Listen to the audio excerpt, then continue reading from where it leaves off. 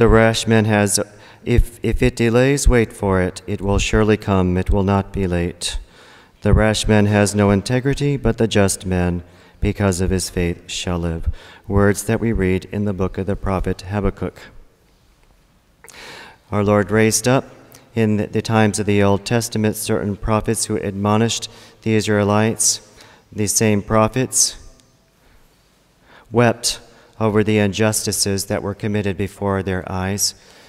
And uh, they lamented to the Lord, Why, O Lord, do you, you seemingly do nothing about them? They hungered and thirsted for justice, just as we read in the, the Beatitudes given by Jesus, which we read in chapter 5 of the Gospel of St. Matthew. To hunger and thirst for justice is therefore very acceptable in the sight of God. The question is why does it seem that God sometimes, according to our way of thinking, do nothing about it? we see injustices committed around us, perhaps some very grave ones, and yet God seems to wait, to bide his time, not to act immediately, to permit injustice to be committed. And yet our Lord promises through the prophet that justice will indeed be fulfilled, but in the Lord's time and not in ours. For the Lord wishes also to bring our good work, our work of holiness, to perfection. So the Lord sees things as we do not see them. We are, of course, uh, tempted to uh, right things ourselves, to uh, make things right in the world, uh, and uh, perhaps imprudently at times to be the executors of justice in situations that demands that our Lord uh, be the one to right the scales. It doesn't mean, of course, that we should not be working for justice. Of course, we should be working for justice insofar as it depends upon us.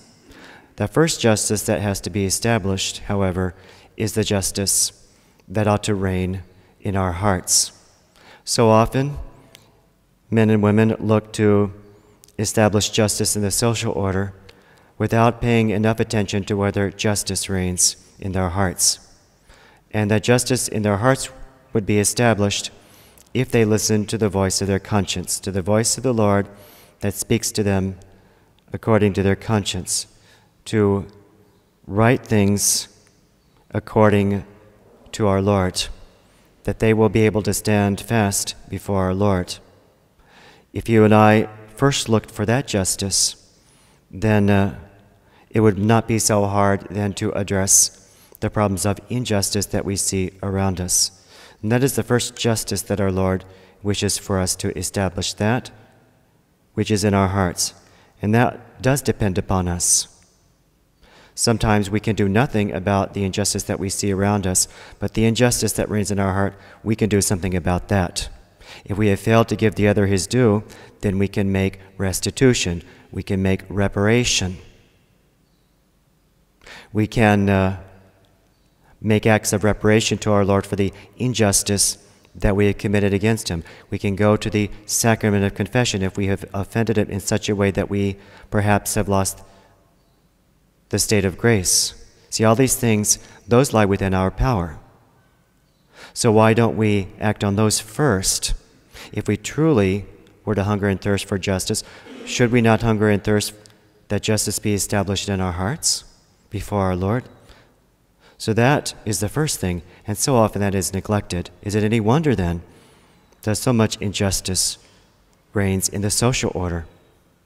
Even so, let us suppose that indeed we have established justice in our hearts, that we have we comport ourselves rightly before our Lord, and yet the problem of injustice in the social order remains.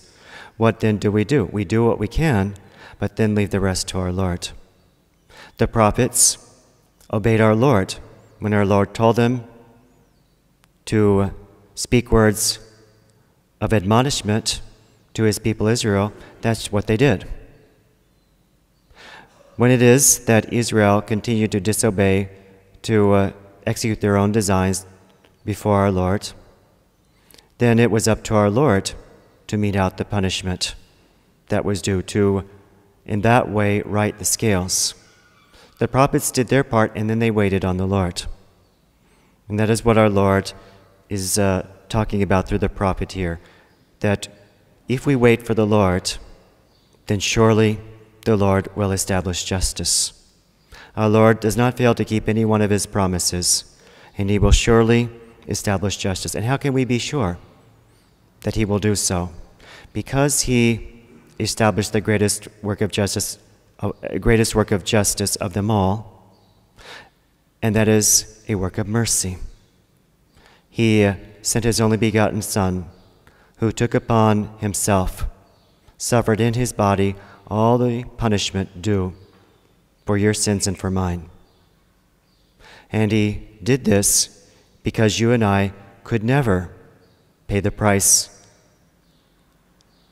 for the offenses that we have committed against our Lord. The price that you and I must pay to our Lord for the offenses that we have committed against Him is too great for us to pay ourselves.